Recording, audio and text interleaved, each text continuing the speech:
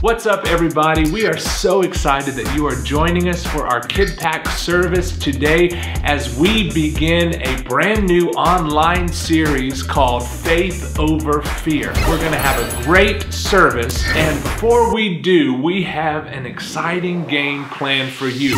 What is up, everybody? That is right. It would not be a KidPak service without a boys versus Let's go! girls game. Representing all the boys, we got Pastor Joey here. Yes, let's Gwinnett go, Campus. boys! I have to say the words, Joey. I have to say Gwinnett I'm excited. Yeah. Representing all the boys over here is Pastor Joey from the Gwinnett campus. Yeah, boys, come on, let me hear you scream! And for all the girls out there, representing them is Pastor Camille from Cummings.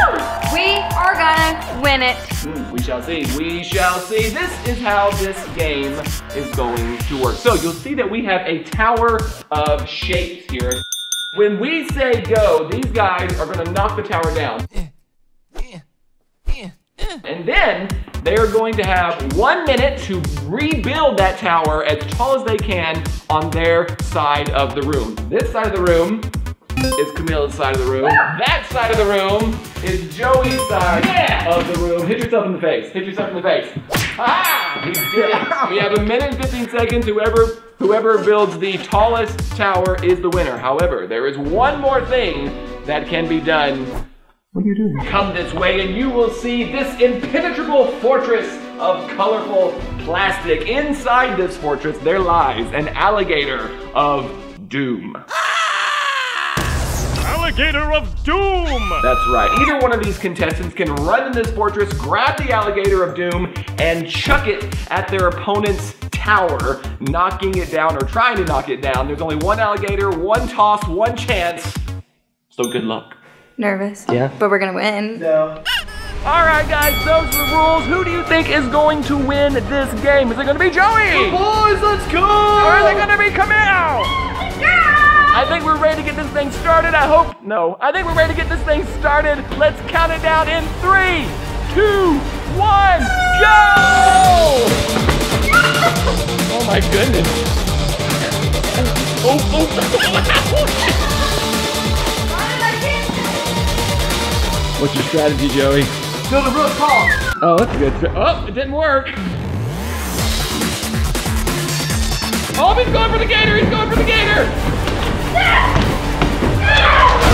Oh, demolished. Five, four, three, two, one. That doesn't count. All right, all right. I think I won. Let's go, boys. Yeah! What does that What does that mean? what do you think it means, Joey? Did I lose? All right, that means that the girls are the winners. Did I lose? It's all over.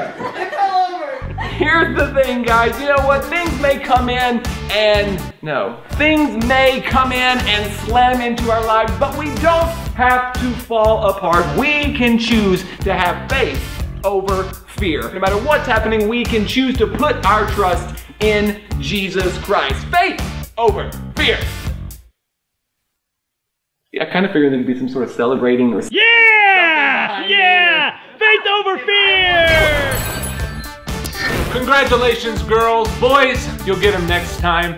Today, we're going to start talking about our message for today for just a few moments. And again, we're talking about faith over fear. The title of today's message says that ours is not the spirit of fear. What that means is God has not given us, his children, a spirit of fear.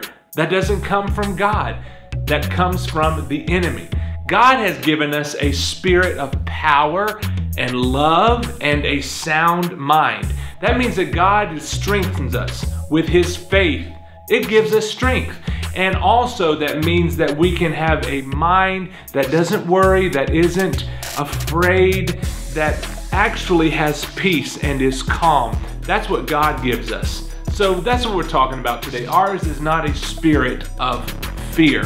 The first point that I want to talk to you about says that fear starts in the mind, but faith, it starts in the heart. You know, we can imagine a lot of different scary things. Um, especially it's fun when you're, you know, you're a kid and you're in the basement and you turn off the lights and you start running up the stairs. I did this all the time as a kid and maybe sometimes as an adult, but I would run up the stairs and try to run as fast as I possibly could like somebody was chasing me with all the lights off. I'd slam the door behind me, out of breath, and I'd be like, whew, good thing I outrun that bad guy. Well, of course, that was all in my mind because fear, it begins in the mind. And when we keep feeding the fear and keep thinking those thoughts, man, our mind can go crazy. It can go all kinds of different directions. But the Bible says that faith begins in the heart because there's a great Bible verse that says, um, with the heart, man believes unto righteousness. That's when we accept Jesus into our heart. And it says, with the mouth, confession is made into salvation. What that means is our faith in Jesus Christ begins in our heart. And we can then let faith take over our mind as well. So what we're gonna see in this next video is how we can fight fear with faith that is in our heart because Jesus is in our heart. Whew, I made it. I'm on top of the world. Now it's time to celebrate. Everything is hmm. awesome. Hmm. Uh-huh. Come on. Uh-huh.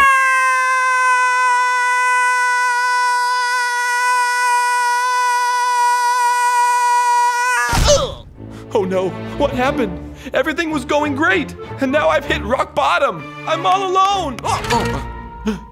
And I'm falling apart. You're not alone. Huh? Said that. You're not alone. Oh, thank goodness! Someone, or something, is down here besides me. No. I mean, yeah, but listen. Before I even got here, you were not alone. Do what? The Bible tells us that God is always with us. Whether we're celebrating on a mountaintop or our life is falling apart, God has his arms underneath us. What are you even talking about? I've hit rock bottom and my life is falling apart. I can't get any lower than this. Exactly. And God's arms are still underneath you. No matter what happens in life, good or bad, fun or scary, we know that God always has us in his arms. Yea, though I walk through the valley of the shadow of death, I will fear no evil, for you are with me. Psalm 23 4. God is always with us, so we don't have to be afraid of anything. We can have courage because we are always in God's arms, so there's no need to fall apart. Wow, thanks. You're right. And you know what? Now that I know, this place isn't so scary. Ready to go back up? Yes, please. Ooh, a spaceship. Don't touch anything. God is always with us, the Bible says. He will never leave us nor forsake us. And we should really be excited and focus on that rather than focusing on what it is that is scaring us in our mind. You see, point number two says that fear sees the problem, but faith sees the answer. And let me tell you, the answer to all the things that scare us and make us afraid is found right here in God's Word.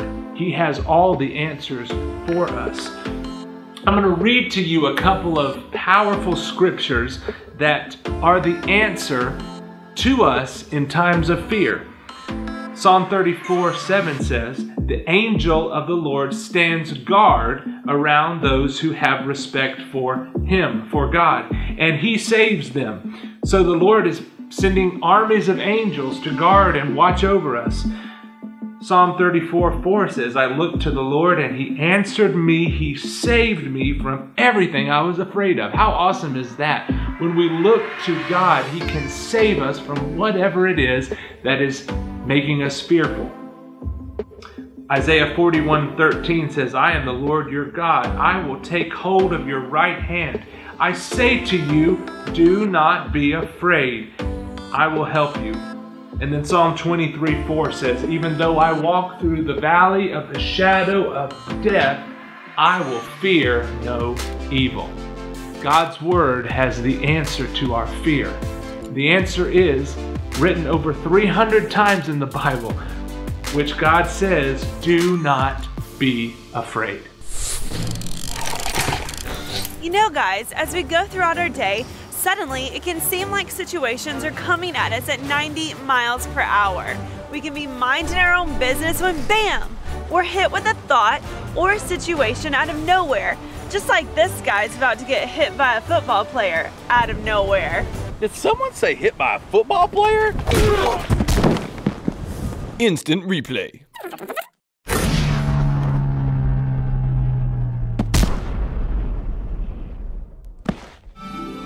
Whether we like it or not, all kinds of thoughts are going to hit our minds good thoughts, bad thoughts, thoughts that are true, thoughts that are not true, and that is why it's so important for us to know God's Word. The enemy wants to come in and fill our head with thoughts that are not true, so we won't obey God.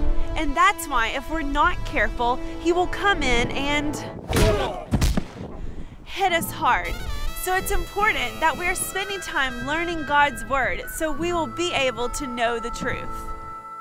God's word. So when the enemy comes at us and says, Something bad's gonna happen to you today, we'll know that God's word says, The Lord is my strength and shield, and I will trust him with all of my heart. God doesn't love you. The Lord is abundant in love, and because of his great love, he sent his son to die for us. Just do what everybody else is doing. It doesn't matter. You want to fit in, right? Blessed is the one who doesn't walk with the wicked. Let your light shine for all people to see. So when we have God's word in our hearts, it will help us stay on the right path and we will not fall for the lies of the enemy. So dig deeper in God's word and be like this guy. Not this guy.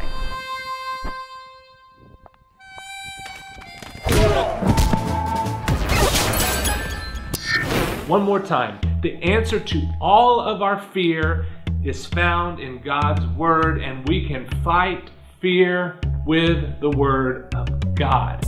You see, because point three tells us that fear, you know what fear does? Fear focuses on past tragedies, what's gone wrong, but faith focuses on past victories. All of that is found in the Bible, full of victory after victory after victory that God has performed. And you know what? In our life, it's good for us to look back and focus on all the things that God has done for us, the past victories in our life. Let's focus on that this week. Focus on our God and His powerful, strong, mighty hand that is holding us up. Let's focus on the fact that God is with us. He will never leave us. He tells us He'll never forsake us. And He also says, Don't be afraid. Say that with me. Do not be afraid. That's what God tells us. And we can really, really, really believe it. Because God's not given us a spirit of fear, but of faith, of power, of love, and of a sound mind. We're glad that you joined us today. Thank you so much for being a part of this KP service in this new series, KidPak Presents Faith Over Fear. And that is a word that Pastor spoke over all of us in this season. Let's have faith over fear, faith instead of fear. And we're going to have a good time together all throughout this series. We're going to post stuff on our KidPak Instagram or on uh, Facebook at KidPak Ministries. So we're really excited to share with you some of the things that we have going on, which include something that you can send to us. We have a challenge for you. What we want you to do is to go with your mom and dad and build the best tent that you can possibly build. A big tent for all of your family to gather in. And then use the hashtag KP Home Chapel. So, of course, we're not right now at this time meeting at Free Chapel at our church, Free Chapel, but we are meeting at home, and that tent can be your KP Home Chapel. See, what we did there? but we really do want you to have fun. Join us. Send us your pictures. You can follow us and you can see what we have going on throughout the week. It's going to be great going through this series with you. Remember, faith over fear.